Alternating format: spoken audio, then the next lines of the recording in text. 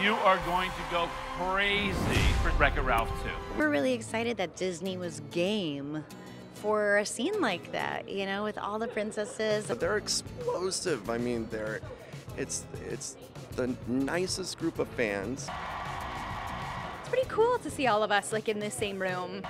The energy is palpable. The fans are so excited. It's a good group of people, the Disney Pixar bunch.